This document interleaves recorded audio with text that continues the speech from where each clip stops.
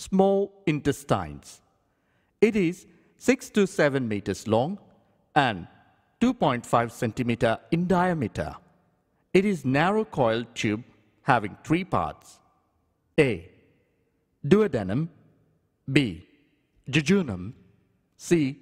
Ileum Duodenum is U-shaped. Bile from the liver and pancreatic juice from pancreas reach duodenum through separate inlets. The pyloric sphincter remains closed until digestion of food in the stomach is completed. Jejunum. The middle part is called jejunum. It is a short region of small intestine. Ileum. It is the longest part of the small intestine. Ileum opens into the large intestine. The major part of the process of digestion takes place in small intestine.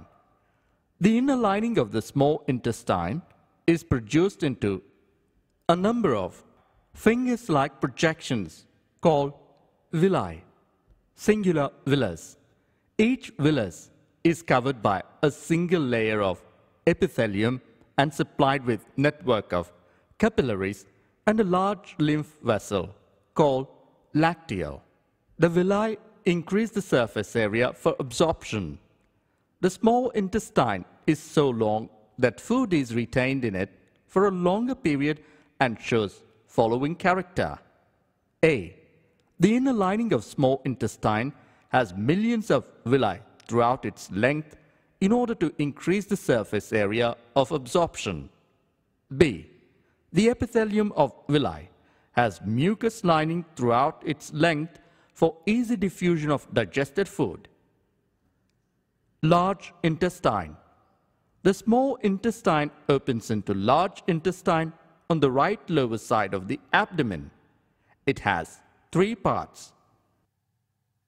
Cecum. Colon and rectum. Cecum. The point where ileum joins the large intestine, a sac-like part called cecum, is present which hosts some symbiotic microorganism. A narrow finger-like tubular projection, the vermiform appendix, which is a vestigial organ, arises from cecum. Large intestine does not play any role in the digestive process. No digestive juice and enzyme are poured in this region. Formation of Feces. occurs in this region. Colon. The cecum opens into colon.